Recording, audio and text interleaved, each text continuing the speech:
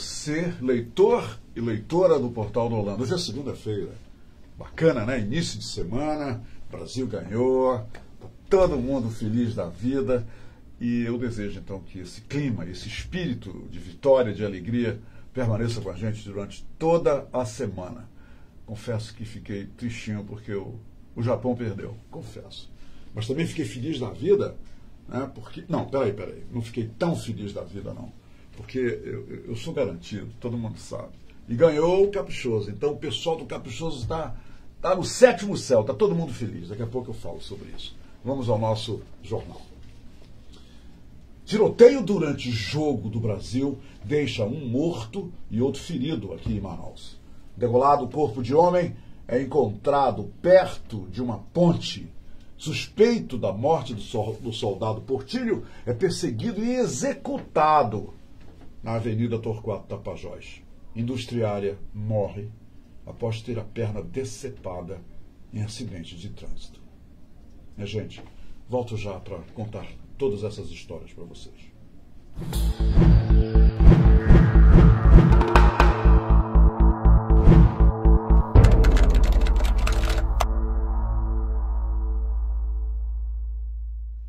Bem, estou de volta e agora é para valer. Cena de bang bang, de filme de faroeste. Um tiroteio durante o Jogo do Brasil, nesta segunda-feira, deixou um morto e outro ferido no bairro Nova Esperança.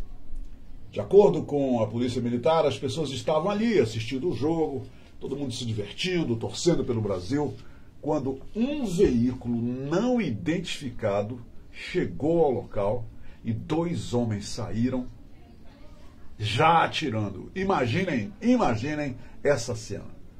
Te coloca lá na torcida do Brasil e de repente lá vem esses caras, descem do carro e já saem atirando, como faziam lá em Chicago na década de 30. Não é terrível um negócio desse? Isso é aqui em Manaus, hein, gente? Isso aconteceu aqui em Manaus durante o jogo do Brasil. Olha, as vítimas que ainda não foram identificadas foram encaminhadas para o SPA do Alvorada mas, infelizmente, um torcedor não resistiu aos ferimentos e morreu. Não se sabe até agora o estado de saúde do segundo ferido. Tá vendo só como é que estão as coisas? É, eu tenho eu tenho apertado nessa tecla aqui todos os dias no nosso Hora H. O clima de violência em Manaus está totalmente fora de controle, não tem controle. Né? A gente está ali assistindo o Jogo do Brasil em praça pública, todo mundo com espírito, né? um entusiasmo positivo, e acontece um lance desse. O cara vem para o carro, pá, atira, né? e, e, e o, que, que, a gente, que, que a gente pode pensar? Esses dois né? um que morreu outro que foi ferido, é, eles eram os alvos desses caras? Vai-se lá saber, como se diz por aí. Eles eram os alvos desse cara? A gente vai ter que esperar o laudo policial, vai ter que esperar as investigações, o resultado das investigações, para saber o que aconteceu. Agora, não é para a gente ficar com a pulga de trás da orelha se nós resolvermos assistir o próximo jogo do Brasil em Praça Pública? Eu não vou. Francamente, eu não vou. Um homem ainda não identificado foi encontrado morto essa manhã na rua Souza Bandeira, no bairro de Santo Antônio. Populares se depararam com o corpo por volta das 6 horas da manhã, nas proximidades da ponte Bariri. A área, minha gente, é apontada como um dos conhecidos pontos de drogas que são frequentados pelos usuários. Esse é o local aí né, onde, onde foi encontrado esse corpo. E de acordo com as informações do delegado Rodrigo Barreto, o homem foi degolado e tinha várias perfurações no peito. Estava todo furado o peito dele. Parecia assim tabuleiro de pirulito. É, é realmente terrível isso. O caso, logicamente, né, está sendo investigado.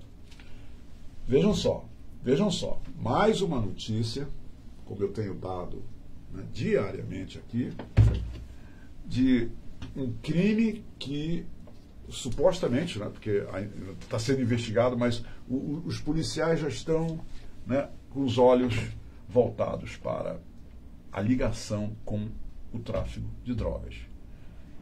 É, primeiro, o primeiro olhar, eles se debruçam sobre esses casos e dizem: Isso aqui tem a ver com. Né, eu acho que é o modus operandi, é a maneira que o crime acontece.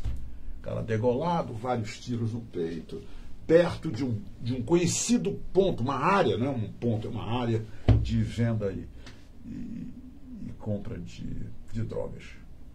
É, é, essa é uma outra realidade de Manaus. Eu aposto que o ex-prefeito ex de Nova York, Rodolfo Giuliani, deve estar sabendo de tudo isso. Eu aposto que ele está. A gente está, né?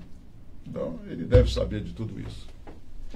Olha, um homem identificado apenas como Carte, de 24 anos, ele foi perseguido.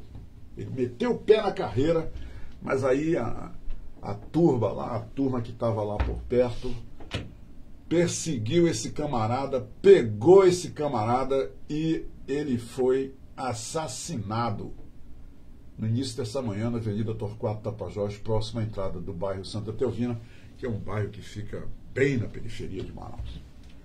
Esse kart lá, a vítima, ele voltava de uma casa de show no bairro Tarumã, é um bairro que fica lá por perto, em uma motocicleta e havia acabado de deixar um amigo no caminho quando percebeu a aproximação de dois homens em outra moto.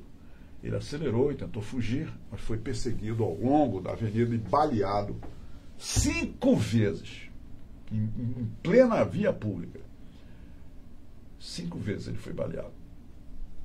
Ele era jovem, morreu no local. E o suspeito, ó, ó, ó olha aqui na minha mão.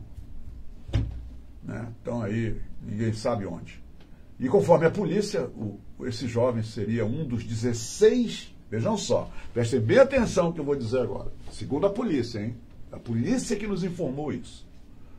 Esse jovem seria um dos 16 suspeitos de participarem da tortura e execução do soldado Portilho em uma área de invasão no bairro Nova Cidade. Noticiamos isso, esse acontecimento aí, nós noticiamos aqui. Aí uma consequência, já pegaram o suspeito e já resolveram a questão em via pública. O, o Portilho, né, o corpo desse soldado Portilho, é, ele foi encontrado enterrado, dia 30 de maio desse ano. O caso teve grande repercussão e até agora, até agora, 15 pessoas já foram presas. Vocês devem lembrar desse caso. Eu acho, eu acho que essa história ainda não acabou. Ainda tem outros capítulos aí dessa história. A gente pensava que né, a coisa está tá resolvida, 15 pessoas é, já estão presas, mas olha aí, já pegaram mais um aí, o cara estava lá, vindo da festa e ó, babau. Está na festa do céu agora. Aqui, aqui embaixo ele não vai a festa nenhuma mais. Olha, minha gente, essa, essa notícia é de quebrar o coração qualquer um. A industriária Lucinere da Silva Menta, 49 anos, a flor da vida. Ela morreu após ter a perna decepada em um acidente de moto que aconteceu hoje de madrugada, na rua Álvaro Maia, aí no, no bairro da Alvorada. Segundo informações da, da, polícia, que nós recebemos da polícia, aqui o portal da Holanda, a Lucinere ela estava na garupa de uma moto que era conduzida por um amigo quando um carro prata que vinha em alta velocidade atingiu a motocicleta. Com o impacto do acidente, a perna dessa. Eu acho que já é uma senhora, né, com 49 anos. A perna dela foi parar no telhado de uma casa próxima. Imaginem a violência desse baque. Né? A violência daquela estrutura de ferro de um carro que é necessária para decepar uma perna e jogar a perna lá em cima no telhado de uma casa. O motorista Um assassino, né? Um cara desse é um, não é mais um motorista. Isso é um assassino. Cara fugiu sem prestar socorro às vítimas. Quantas vezes eu já pedi aqui isso? Se você atropelar alguém, minha gente, pare, ajude. Porque talvez a sua ajuda, da sua ajuda, vai depender a sobrevivência dessa pessoa. A pessoa não vai morrer se você ajudar. Mas se você deixá-la lá jogada no asfalto, ela vai acabar morrendo. Que até chegar a ajuda, ninguém mata ninguém no trânsito de propósito. Essa é a verdade. Então pare, ajude a pessoa. Esse, aí, senão, você vira um monstro, um assassino. Esse cara não prestou ajuda. Né? Fugiu sem prestar socorro às vítimas e agora, os familiares dela, da industriária, relataram que após o acidente, eles procuraram o Hospital 28 de Agosto para pedir ajuda, porém, foram informados. Meu Deus do céu. Os familiares foram informados, minha gente, de que não havia ambulância para fazer o resgate da mulher.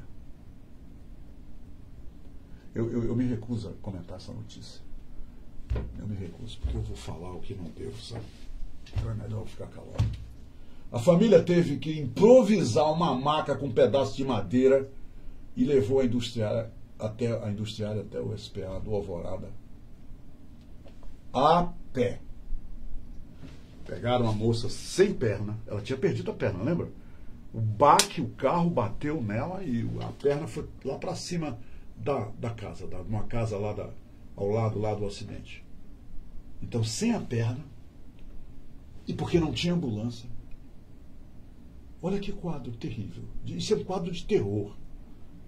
Um quadro horroroso de terror. Aí os familiares pegaram. Imagina, viu, Glaucio? Quanto tempo levaram os familiares para chegar lá no local? Quanto sangue perdeu essa senhora? Aí pegaram o, o, o corpo dela lá, pegaram ela, né, ainda viva, levaram lá para o improvisaram uma maca com um pedaço de madeira levaram industriárias até o do Alvorada, a pé, foram a pé, carregando ela a pé. A mulher passou por atendimento médico, mas lógico, lógico. Né? Só um idiota não, não, deduz o que, que aconteceu com ela. Não, não resistiu. Só o sangue que ela deve ter perdido. Você perde uma perna, entendeu? E o condutor da moto é, foi atendido com ferimentos leves. Perdão, tá? eu não vou comentar essa notícia. Eu não vou comentar porque eu vou voltar a ser abordado no shopping por causa do meu comentário. Mas eu, eu quero que vocês façam o seu, é, o seu próprio juízo, os leitores e leitoras do Portal do Holanda, de um caso como esse. Olha, detalhe, isso não aconteceu lá no interior, no, lá numa cidade longe de Manaus, é, que, que, não tem a estrutura né, de hospitais e tudo mais. Não, isso aconteceu aqui em Manaus, gente, aqui em Manaus, a capital do estado. Bem, eu quero falar para vocês agora no final do jornal sobre a violência do Brasil, o que está fazendo com a imagem do Brasil.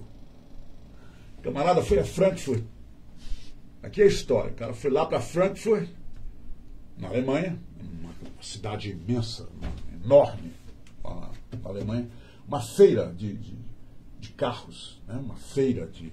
Essas feiras é de apresentação dos novos carros.